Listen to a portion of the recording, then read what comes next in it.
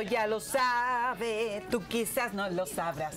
Chiquillos y chiquillas, ya estamos en este bloque que está demasiado entretenido porque estamos en la compañía de nuestro querido y regalón, Marcelito Mallea. Así que bienvenido, feliz año, Marcelo. Feliz año, ¿cómo estás? Mm, muy, muy, muy feliz año. Sí, y este año será maravilloso, lleno de éxitos y de logros y seguramente estarás acompañado de los mejores, de los mejores del mundo mundial en todos tus proyectos. Best of the best. Así que un saludo para todos ustedes en sus casas también. Les mando un gran, gran abrazo, un gran besito también para todos y que tengan un excelente año. Harta salud, harto trabajo y por supuesto también en la compañía de Canal ISB. Por, por supuesto, que sí, claro que No hay otra manera. No hay otra opción, ¿cierto? Así es pues. Oye, música bastante ad hoc por ahí, ¿eh? Música del recuerdo. Sí, la prepararon todo el fin de semana para que esto fuera la música exacta para este espacio. Le pega pero 100%, porque hoy vamos a hablar de recuerdos.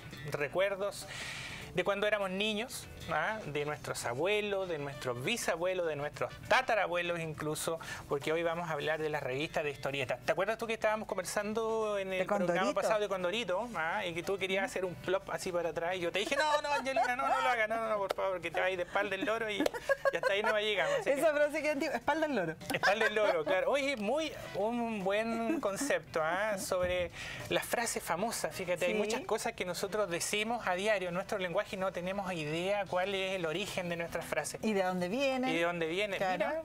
sí, podríamos, loro. Podríamos Algo podríamos hacer ahí. Sí, ya, exijo una explicación. Exijo una explicación. ¿Por qué está todo esto acá? hoy vamos a hablar de historietas. Esto es, eh, he traído aquí un montón, montón de historietas que forman parte de mi colección privada. Yo soy coleccionista, de, entre otras cosas, de historietas. Las hay de todo tipo, pero hoy vamos a hablar, fíjate, de los comienzos de la historieta, ¿ya? Por ejemplo, ¿sabías tú cómo se llama el primer personaje del cómic o la historieta chilena? ¿Quién dio inicio a todo esto? No es Condorito, por si acaso, ¿eh? no es Condorito. Condorito, recordemos que es del año 1949. No, el, el, Peneca no es del, de ese tiempo, no es una revista, no, no sé. No, mira, yo te voy a presentar al primer personaje de toda la historieta chilena, es que es considerado por todos los, estudiosos, ¿ya? ¿Quién será? ¿Quién será? Se llama von Pilsener, Federico ah, von Pilsener, ¿ah? así se llama, Federico von Pilsener, que era, mira, ahí tenemos al primer personaje de la historieta ¿Ese don Federico? Ese don Federico von Pilsener, que estaba siempre acompañado de un fiel amigo, un, un perro salchicha, que se llamaba Dudelsack Pfeiffer Gesell. Así se llamaba. Bueno, ¿y eso quién lo escribió? Dudelsack Pfeiffer Gesell se llamaba. Bueno, este era un eh, alemán, ya en aquello entonces estamos hablando de comienzo de 1900, 1906 proliferaban muchos, muchos, muchos personajes que venían de Europa porque todos los semanarios y las revistas venían con influencia especialmente francesa, ¿ya? Recordemos algunos semanarios como el Zigzag del año 1905, la revista Correvuela, la que tú decías, la revista El Peneca, que nació en el año 1908. Este era un alemán muy simpático porque el gobierno alemán le encargó venir a Chile que para aquellos entonces era una tierra lejana y salvaje. Y este personaje viajaba por Chile y también eh, nos enrostraba de cierta manera nuestras costumbres, nuestros vicios, la forma de cómo nosotros eh, hablamos y él trataba de entendernos con chistes, eh, los famosos chistes de Don Otto. Don Otto. Don Otto, que es siempre como que el estereotipo alemán es como esos chistes que nadie entiende, que son chistes muy serios. ¿Sería alemana, oye? ¿Cierto? que no entiende ni un chiste. Eh, oye, en una de esas, fíjate, Condorito también tiene, tiene muchos chistes de, de, Don Otto, ¿ah? que se ríen así como, oh, oh, oh, oh, oh, así como viejito pascuero, ¿no? Entonces, este era un señor muy serio, muy, muy alemán, ¿no? Y ese fue considerado como el primer personaje de todas las historietas chilenas. Hablo de historietas y no de cómics.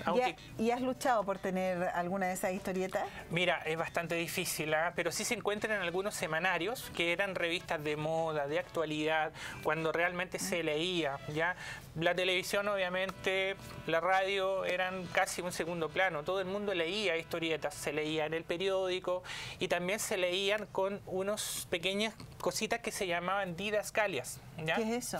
Mira, la las didascalias, yo te voy a mostrar algunas. Por ejemplo, mira, aquí tengo una revista que es una revista infantil, ¿ya? este es de los años 30 que se llama Simbad, ¿ya?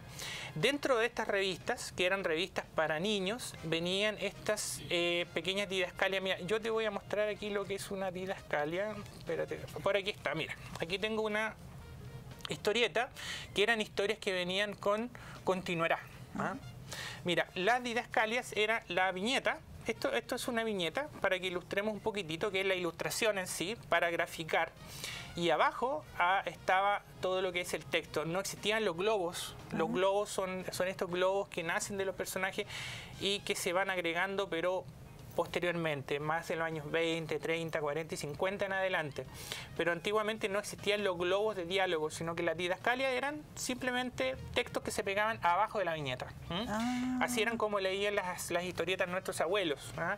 Esta es una revista bien antigua y también tengo muchas otras, pero fíjate tú que con el correr de los años se imprimían muchos, muchos, muchos ejemplares, eh, se leían bastante, pero eh, fue realmente una, una empresa, fue una empresa y una fábrica chilena de historietas, ya porque después del nacimiento de Federico von Pilsener, eh, nacieron muchas otras revistas. Ya fue un éxito, un boom absoluto. bastantes ilustradores. Bastantes ilustradores, exactamente. Que, soñaron, yo creo, con tener, alguna revista, alguna, exactamente. alguna presencia dentro de las casas. Mira, pero yo me, me acuerdo de algo que aparece acá.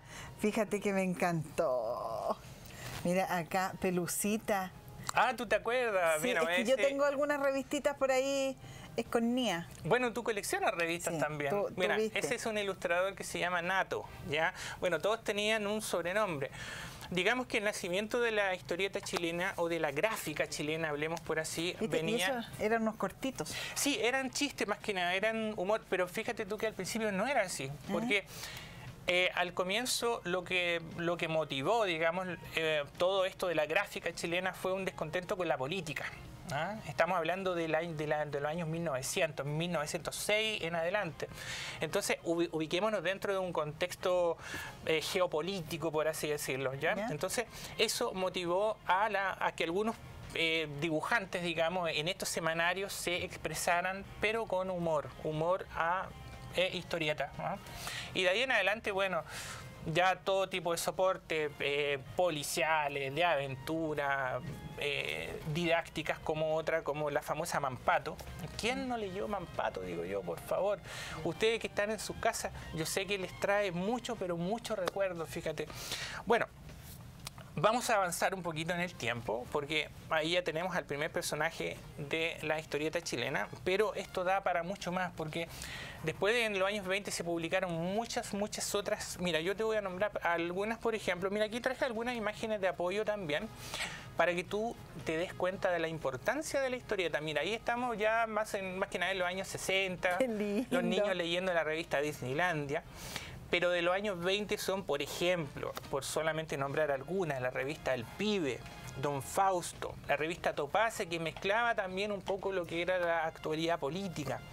En los años 30 tenemos también un personaje típico chileno, antes de Condorito incluso, que fue Verdejo, ¿ah? Don Verdejo la revista El Abuelito, El Cabrito, El Pobre Diablo, La Pichanga Condorito, recordemos que es del año 1949, ya es muy posterior, que nació la revista, ¿se acuerdan cuál era la revista donde nació Condorito?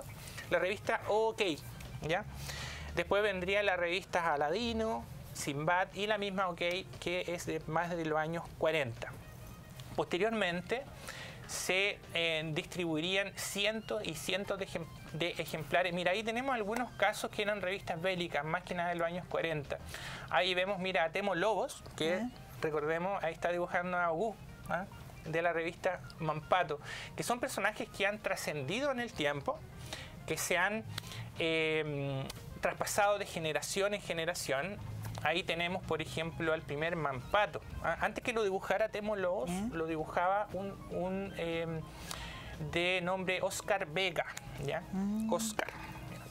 Bueno, tenemos también eh, muchas otras revistas que van naciendo con el tiempo y muchos ilustradores famosos. Por ejemplo, Mira, ahí tenemos la revista El Zorro. Tenemos a Ahí está el Peneca. Ahí está la revista El Peneca. Que esta era el Intrépido Peneca, que era más de aventura. Mira, tenemos a Coque, es seudónimo ah, de Jorge Delano. Pepo, recordemos que su verdadero nombre era René Ríos. Tenemos a Nato, tenemos a Temolobos, a Oscar Vega, a Hervi, ¿ya? que es el seudónimo de Hernán Vidal, a Percy, el famoso también por sus revistas de Pepe Antártico. ¡Ay, Pepe Antártico! Pepe Antártico, ¿te acuerdas tú? Renzo Pequeñino Lucas, ¿ya? Tenemos a Manuel Cárdenas, Sergio Peñilillo, Max Carvajal, Mario Igor, eh, Ricardo Villiraldes, Julio Berríos, etcétera, etcétera, etcétera. Son muchos, muchos, muchos otros. Se, se me están quedando en el tintero, perdón, pero son muchos ilustradores que crearon esta industria y que hoy fíjate que lamentablemente ya hasta los años 80 se tuvo, digamos, una pequeña caída, ya a, pesar de que después nace este concepto de lo que es, es el cómics, ya, pero más con revistas que venían del extranjero, ya no tanta de la industria nacional. Mira, yo te voy a dar algunos ejemplos. Mira, aquí tenemos la revista El Cabrito, que son revistas que leían nuestros abuelos. ¿ya? Esta es una joyita que tengo. Mira qué linda la revista El Cabrito. qué impecable, ¿eh? Está, sí, en muy buenas condiciones, fíjate. Siempre, bueno, me pongo a recorrer por ahí las ferias de las pulgas, qué sé yo. Bueno, las revistas típicos que venían cuentos, ¿ya? Además, eh, tú podías aprender, eran revistas muy didácticas, ¿ya? Mira, ese es un, cuento, donde los niños leían mucho, no solamente, sino que el dibujo era más que nada un apoyo, ¿ya?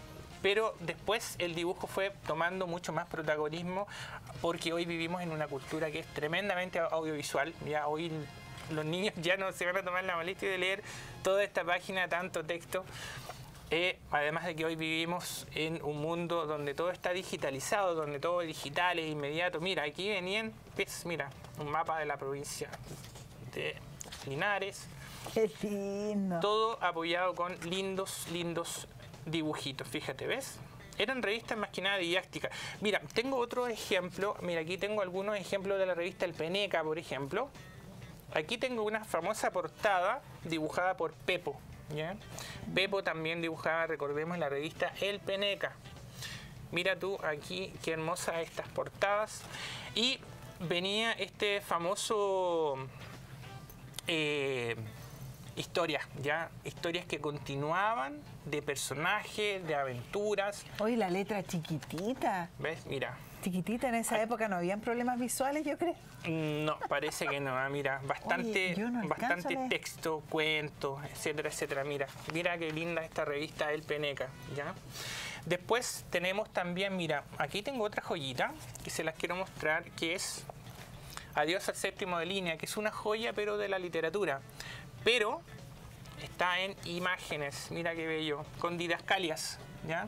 La didascalia, recordemos que son esos textos que van abajo, ¿ya? Antes de los globos que están sobre los personajes. Es una novela gráfica, ¿ya? Mira, es un, oh, en realidad es un formato libro. Y también, también yo sé que ustedes recordarán en su casa y tú también recordarás, mira, estas que son, que fueron muy famosas antes de las telenovelas, ¿ya?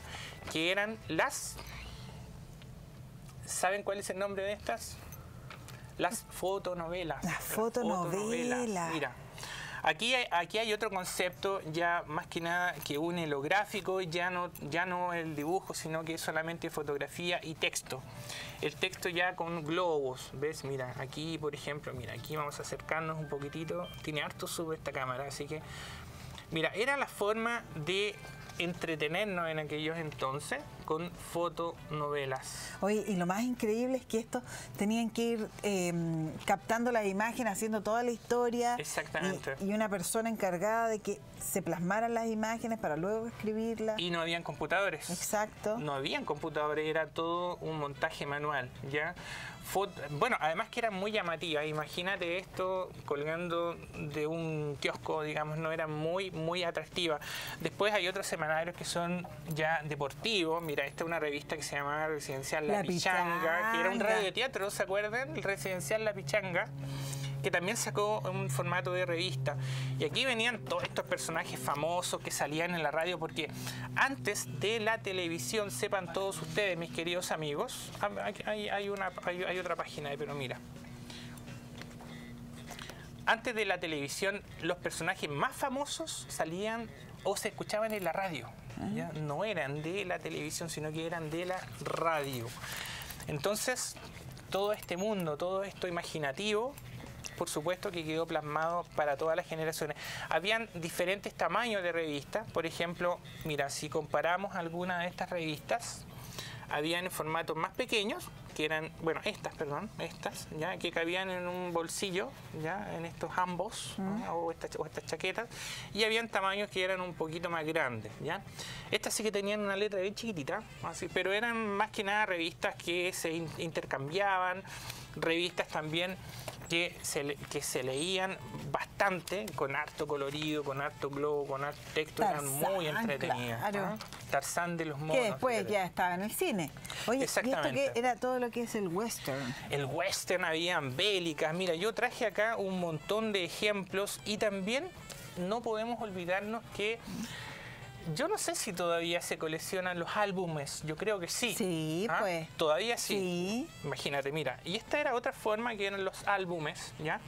Donde tú comprabas Ah. sobres, láminas y las ibas pegando en un formato bastante entretenido. Esta era una forma también de aprender, ¿ah? era como la prolongación de lo que es la escuela, ¿ya? pero en un formato mucho más atractivo. Qué ¿ves tú? lindo. Con láminas a todo color des- desplegables. Yo me acuerdo que jugaba monito. ¿ah? No sé si ustedes en sus casas jugaban monito. Ay, se cayó, se cayó una. Mira, ahí está. Jugábamos al cachipún. ¿Te acuerdas tú al cachipún? ¿Te acuerdas tú, Felipe? ¿Quién no jugó al cachipún? Y había que dar vuelta a las láminas. Mira, aquí tengo harto ejemplo de lo que eran, por ejemplo, los álbumes. Habían las estampas. Las estampas, Toma, por ejemplo, eran esto, mira. Esto es muy parecido a los álbumes, pero tenían otros temas. Por ejemplo, mira, estas son estampas de la vida de Jesús. Y de esa manera también, este bien antiguo, debe ser como de los años 30 también. Que eran álbumes que venían con la lámina que tú comprabas, pero además venía con todo un tema gráfico y también de texto. ¿ah? Buena. También eran educativos. La idea era, mediante la ilustración, educar, entretener y acompañar. Eso era un poco el concepto de lo que eran antiguamente los álbumes y las estampas. ¿Ves? Oye, Marcelito, ¿sabes que aquí hay algo que me llamó la atención? ¿Qué te llama la atención? Mira, acá dice, em, dice, asume tu compromiso con el medio ambiente, gana Chile y ganas tú. O sea, hace mucho tiempo existían las ganas de cuidar el medio ambiente, Por supuesto. ¿cierto? Mira qué increíble, estamos hablando, ¿qué año será esto? No, eso es más de, que nada de los años 70. Pero igual, por harto Claro, tiempo. claro, exactamente. Oye, y Sí, las láminas que tú mostrabas de este álbum, fíjate que en la parte posterior aparece, ¿cierto?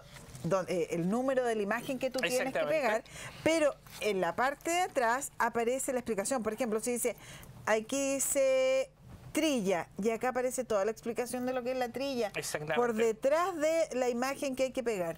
Exactamente.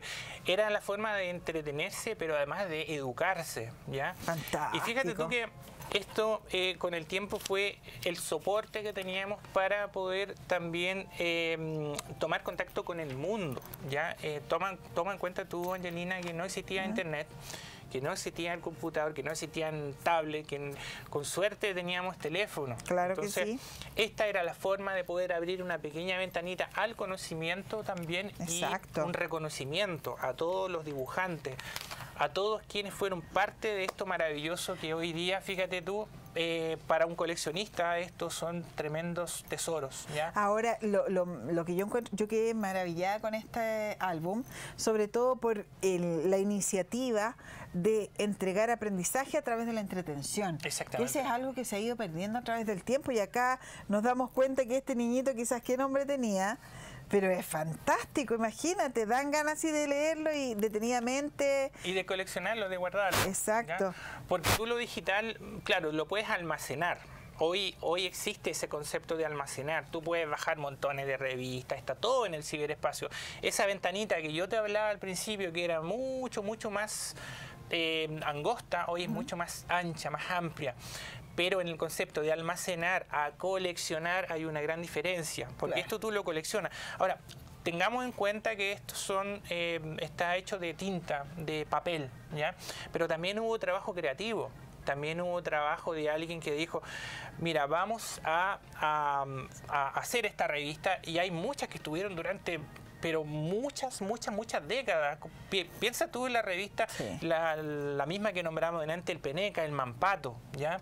que después saltó saltó a la fama, pero Mampato era una revista que estaba hecha para educar, pero también para entretener y tenía un concepto que era más que nada familiar, fíjate. Eso era el concepto que tenía la revista Mampato. Así que yo hago un llamado a todas las personas que están en su casa, que tengan revistas, a, recordar, guárdenla, atesorenla. El papel es delicado, el papel... Es súper delicado. Eh, Quizás que de repente no es valorado por, por muchas personas o dicen, ah, esta es una tontera. Y la botan pero, pero fíjate que a mí me ha pasado, tú conoces en la biblioteca de mi casa, gente que se ha sentado ahí a, estar, yo hora de almorzar, ya puedo tomar once, porque de verdad que hay personas que atesoran esto y nosotros debemos dar la oportunidad también a que sea atesorado. Y para eso, ¿qué mejor que buscar en feria, que darnos la oportunidad de descubrir parte de nuestra historia a través de esto? Exactamente, piensa tú que ya no se, ya no, ya no son impresas, ya solamente se imprimieron en aquellos entonces, estamos hablando del año 1900 en adelante, ¿ya? Bueno, hoy existe el, concepto mucho más moderno que es cómics, ¿ya? Que están también estos cómics que son japoneses, etcétera. Es decir, los jóvenes están buscando formas de leer distintas, por supuesto, también, pero sigue el mismo concepto de lo que es la viñeta.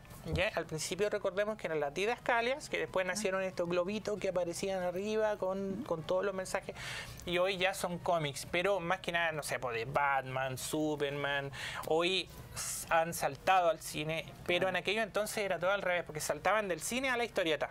Claro. Entonces, qué maravilla. Así que súper entretenido esto que nos trajiste. Y sabes que acá hay un carrete que sería muy re bueno. Ir a San Diego.